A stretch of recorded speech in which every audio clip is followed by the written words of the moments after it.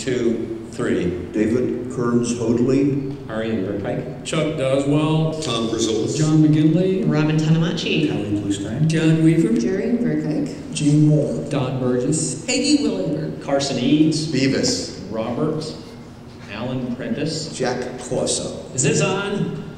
Keith Brown. Randall Zipser. Kenny Adams. Scott McPartland. David Lewison. Betsy Abrams. Vince Miller, David Demko, Gregory S. Forbes, Scott Woolham. Reed Timmer. Heidi Farrar. Rocky Raskovich, Jay Engel. Scott Rubberpaul. Daniel Dawson, Bob Hartig. Kevin Barton, Darren Brunin. Ken Cole.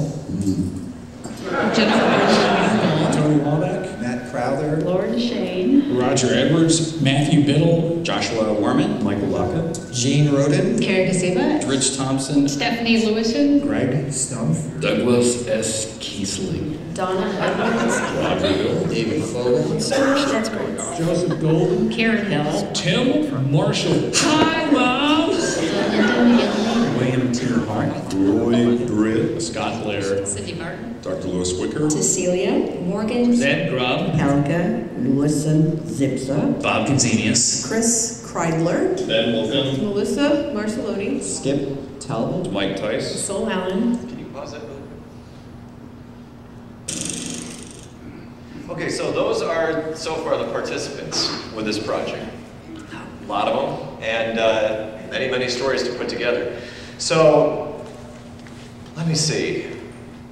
Now, I want to take you back to the first uh, publicly known storm chasing special that was aired uh, in 1978 before storm chasing was really getting in the public eye. This was the first time that any of this really got out there. And uh, had a chance to interview one of the participants, uh, well, two actually, um, one of which is included in here, John Weaver, who lives not too far from here, about his uh, experiences with the production crew. It didn't sound too much different from other production crews as modern stuff. But uh, I'll let you go ahead and play the film.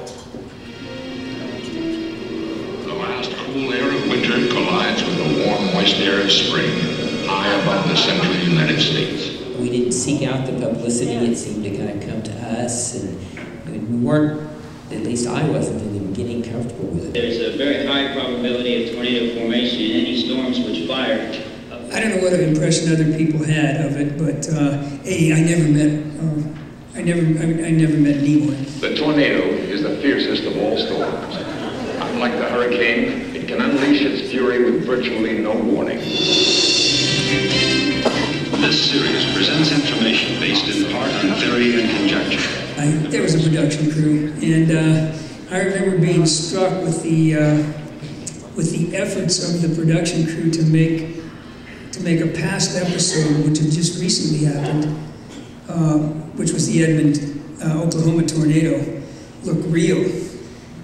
And I remember shooting the same scene. I had told them in an offhand way about how um, I had been analyzing and analyzing and figuring out that this one storm was headed toward northwestern Oklahoma City, which is a nightmare for chasing. And uh, I was vectoring crews in there very carefully, and I was saying, I wonder if it's producing yet. I'm not getting any reports. Doug, can we have an ASRAN on the northwest circulation, please? I think uh, maybe it was Brad Smull, who's now at the University of Washington. Okay, John, what do you see? I was sitting at my desk, and the room was very small, and they wanted Brad to come in and move into the shot. And of course, I had never shot TV before then. Go ahead, are you on? Brad had to come in and fall down to a knee outside of shot, and then just kind of move toward my desk in a kneeling position. Uh, I've just been up on the observation deck, and there's a big new set of towers building into the southwest side of that El Reno. Okay, thank you, thank you, Brad. And I got so punchy at one point that he came up close to me and said, John, John, and I went, I love you. He said, come on now, guys, you're wasting film. We're going long on this, you know. And so we did it about three, three more times, and they were very happy. But they, but they had Bob Davies Jones. He was British. He'd get a cup of tea before we left, and he'd saunter out to the vehicle and get into it. Okay, John, we're just turning up at I-35 just outside the lab. But they wanted to make it look dynamic and energetic and emergency-like.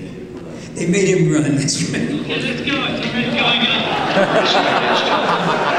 Intercept chase heads out to find the storm system and document the tornado's formation. And I can understand it because they have to have they have to have a good flow if it's going to be adventurous and interesting and whatnot.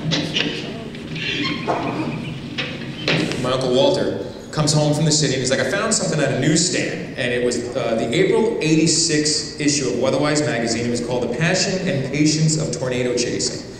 And I remember looking through it and I was like, oh my God. I was like, people actually chase storms. Used to run down to the lake and watch thunderstorms roll in off Lake Michigan. I first became interested in storm chasing because of the movie Twister. It was warm in me. I grew up with it. I used to always uh, look out the window when there was a storm in uh, my childhood years. It came up um, on the first date, and he, he told me about it. He was very excited. Oh my God. Oh my God! After my first chase in 92 out there, I was like, I gotta find out more about this. So the only thing I knew about was Nova Tornado. New cells are forming right along here. And that Howie Bluestein seemed like a really nice guy. So that's the only guy I knew other, other than Lou Wicker, you know, who was on there. Uh, but Howie just seemed more accessible because he was a professor at OU. So uh, wrote to him, and he was nice enough to write back and told me about Tim Marshall and Stormtrack. 7:30 a.m. It was just sheer excitement, you know. I said I was going to see a tornado. And I didn't even remember. They said they dropped a sound pod in the path of a Dallas tornado in 1957, and it came on the radio that they were having that uh, tornado. I remember being very scared by lightning and thunder growing up, and uh, I had to hide, hide my face during thunderstorms. Once I was able to do that and uh, look at lightning, where uh, to the point where I wasn't afraid of it anymore, that's when I started to become obsessed with it. Back then, of course, I just uh, you know, didn't know anything about what the clouds or anything. I just kind of drove around aimlessly. I think I, I learned about storm chasing from Tim Marshall first, seeing his, his videos, and I believe that's when I first heard about storm chasing. And I wrote letters to the Weather Channel and professors at Penn State, and also Tim Marshall, and I used to ask about how I'd mount a Doppler radar on my car. Twister introduced me, and I walked out of the theater and said, I'm going to do that someday. My mom tells me that I was four years old, getting the maps out and um, doing the watch boxes. There we go, the attack! I remember by the time I was seven, I was doing uh, surface analysis. Gene couldn't couldn't restart his car, and we're thinking, well, this could be a problem. It's kind of heading northeastward towards us. Get the starting fluid. Come on up. I'll take her uh, rolling down the window and say, uh, "Hey guys, you might want to think about moving." A tornado hit Worcester in 1953 in June, and I think I was about five years old then. Uh, my mother told me to come in the house. Tornadoes suck little boys up and, and uh, throw them away somewhere. Is it Coming this way! Turn it around! I met Jim Leonard while delivering pizza at Domino's, and we just hit it off there. I overheard him telling a story to the manager about his car being destroyed. And I just had to know more. I says, "You purposely went into this storm to have your car destroyed?" All right, make it quick. I got all I need, Ray. This is live video. A friend of mine and I were going to do some photography that day, and the sirens went off. I was completely unaware that there was any type of severe weather threat. And I turned to my friend and said, Howie, let's go chase this. It was just fascinating to me, and my parents would wake me up at night and say, we've got to go down to the basement. Did you have an interest in weather at that time? No. Any interest in these storms? None. It's his fault. I think that's, that's true. I married into this madness. It's very supportive. They eventually, uh, they were a little concerned that I might get myself into trouble, but uh, they were supportive, and uh, I kept in touch with them by telephone, and I would let them know where I was, what I was seeing. I just got hit by a hailstone. You did? Yeah, over here, this window. Oh, window, I thought you did. I thought, well, that's interesting. You went got in the car. I didn't get hit by a hailstone. I vaguely remember he got got hit, and I know I started ragging on him about something. You got hit, and it's like, you know, what the hell's wrong with you? Moron. Well, you said you got hit, and I thought that's kind of curious. The car is me and I'm the car. There's a stitch in the bottom. That was one of the more memorable from that day. And of course, Rich had a couple too. Roger, you're driving fast and bouncy. Well, what am I going to do, stop? No. Intercept, April 1985, in Ardmore, was chronicled by Kara Levington, who was following you as well. And you were very, you were always very energetic. In every video I've seen of you, I would say out of control craze. No, I was just, I'm just incredibly, at that time, uh, I was, I, I still am an incredibly intense person, but, um, but I, you know, I'm a lot older. and, uh, yeah, I was kind of over the top, and it's good, it, it's good for the camera. I'm not sure it was great for the, ch- great for the, the chasing, my racing partners. Okay, deploy, deploy, deploy. Go. But, uh, but they're good guys. They're all good. They're good guys and gals, and they put up with me, which I'm very grateful for. It's an interesting interaction there. I don't even remember that. I do remember the smokenado event, so that was so. Yes, thank, thank you for saying that. Because nobody else remember that Chuck Robinson and Jim Leonard are out looking at that same thing. There's a tape of them saying, that looks like a tornado, that looks like a tornado. Hey, hey, hey, get it. We got a tornado back here. Tornado. Oh, man. Get it, get it. You see it? Yeah. Let's get out of this rain. It's a high risk day, which was a high risk bus day, I think. And we're all fired up, and it's been a very bad year, and so we're looking forward to maybe having a big day. And it was close to central Oklahoma, which made it easy. And um, and then a lightning strike uh, hit an oil well, and the meso wall cloud goes right over the top of the ground east it. East. That's it. East, northeast. But there's smoke coming out of it. It looks like this filamented, you know, stranded thing. And so you even hear me say, I don't know what that is, but I call start calling it a tornado. Tornado, tornado, I think we have a tornado.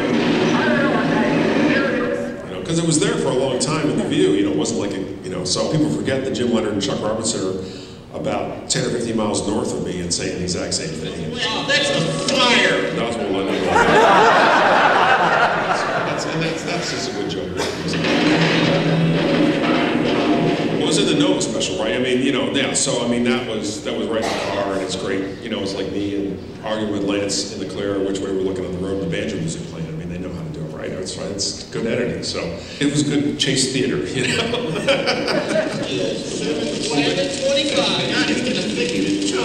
You know the mess he's in, you know, no really steady job. Yeah, he said I, I inspired him to do all that. So I'm basically to blame for what he's doing.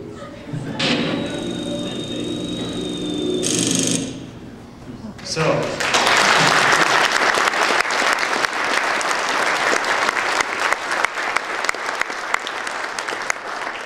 so that's uh, barely scratching the surface. Um, and Grazulis did like to rag me a lot about that. He's kind of true on that respect, but um, yeah, I, uh, the, the project continues basically on uh, in-kind and financial donations. There's a link to the page uh, right there. If you go to stormchasinghistory.net, you can, uh, if you so choose, uh, donate to this project. I'm also opening this up uh, here uh, for advanced copies too, as well. I do plan to have a premiere version done by this fall, a condensed 60-minute version that I hope to air somewhere in Norman, Oklahoma.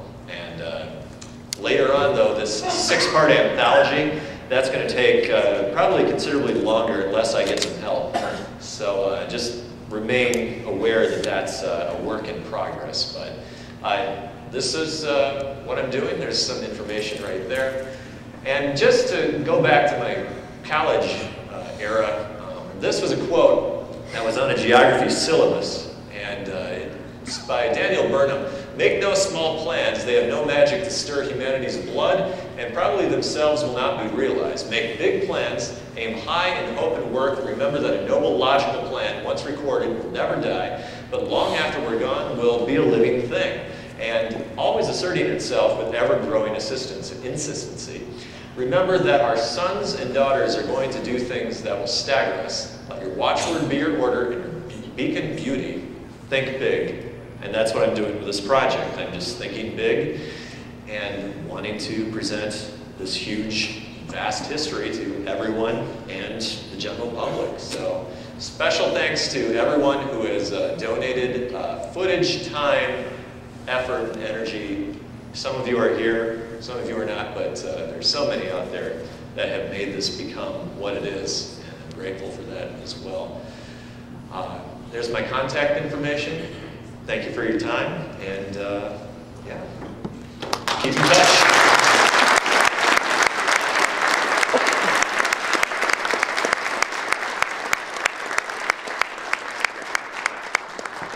Does anyone have any questions or? Yeah.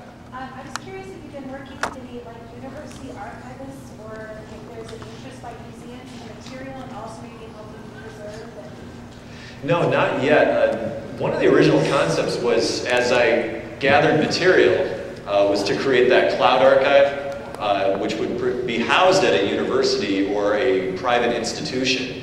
Um, but I haven't gotten in touch because I'm so early in the phase of just trying to edit together this film.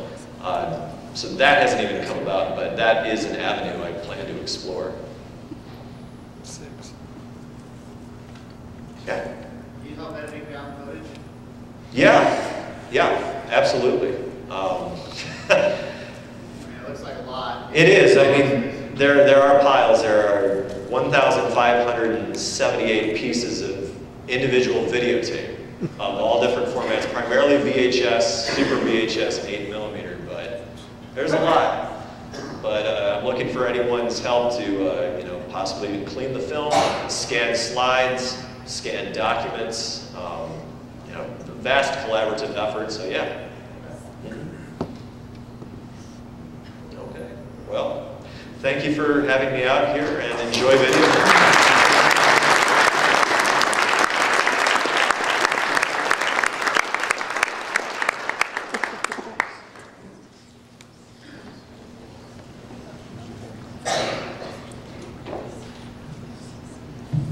Thank you very much, Blake. That was great. Folks, if you haven't, uh, I'm going to throw a pitch here. If you haven't uh, talked to Blake or, or if you want to help with, the, with this project, uh, I'm sure you're going to be around t- tonight, tomorrow? Yeah, okay. here through Tuesday. Here through Tuesday. Great. Very worthwhile. Okay, folks, I'll tell you what, we're going to take a break for about 15 minutes, and then uh, for those of you who want to stick around for video night or have video